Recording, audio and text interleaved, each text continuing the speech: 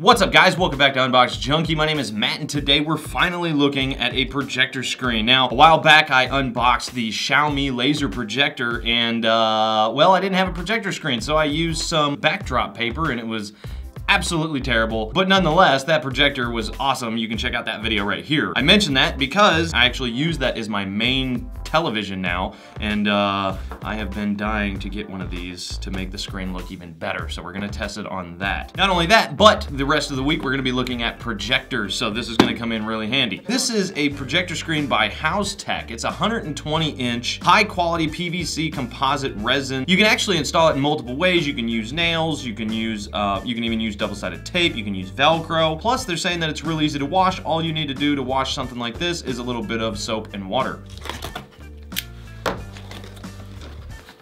So it actually comes with some screws and some drywall anchors, along with uh, some powerful hooks. Oh, that's got some weight to it. Ooh, I don't think I have enough room to fold this whole thing out in here. Oh, wow. Now there are creases um, because it's been folded up. I'm not sure what the technique for this would be to um, get these out. As you can see, it has these metal rings around the whole thing. I believe there are six rings in total. So three on the top, three on the bottom. As far as these hooks go, I think these would be really good for just hanging it, but I think that pulling it tighter would be the better way to go. But we're gonna try it out.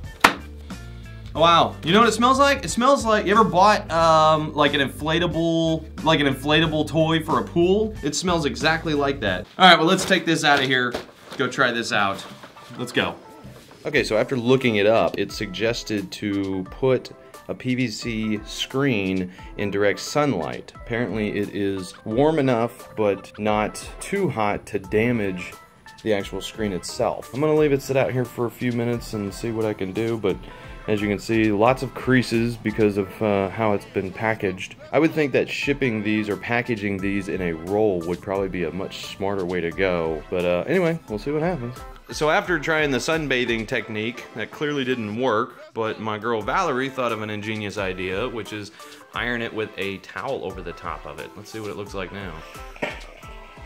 Oh yeah, so that's that's the way to go. All right, well, uh, six hours of this, we'll see what happens. Well, as you can tell, this is not very pretty. About a couple of hours of trying to get the creases out of this thing, um, it did not do a very good job. There are a couple spots up here that are a little more flatter, but the screen itself has pretty much been destroyed by the way it was packaged. This is not the kind of projector screen that the average Joe is gonna wanna unbox, slap up on their wall, and watch a movie. This is gonna take time. I have the three hooks up, and as you can tell, they don't do a very good job, even after stretching. It only has three holes on the top and three on the bottom, which is not enough for a screen to get flat. Now, I'm sure if you had like a heat gun and probably hours and hours to spare, you might be able to get the majority of these out. As a consumer wanting to just take it, put it up on my wall and use it, I can't suggest this at all. Now, as far as uh, the other projectors that I'm gonna review, I'm not gonna be using this all right, so this is where my microphone cut out. So it's been about a week since I recorded this. Ultimately, this is not gonna be like the best projector screen for just anybody. This is gonna be geared more toward people who are in the DIY realm of things. Maybe you wanna make your own frame or something like that. But again, because of the shipping, the creases on it are so bad, it's gonna take some time to get them out. But it's been a week since I actually recorded this, and I believe that I have found the ultimate projector screen. So come back tomorrow to find out what that is. As for this, I will leave a link down in the description